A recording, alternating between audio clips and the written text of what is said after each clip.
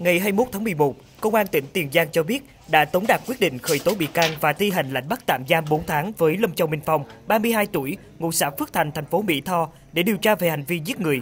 Theo điều tra, tàu cá do ông Nguyễn Văn Đào, 52 tuổi, ngụ phường 9, thành phố Mỹ Tho làm chủ, cùng 10 thuyền viên khác đánh bắt thủy sản ở vùng biển Gò Công, Vũng Tàu.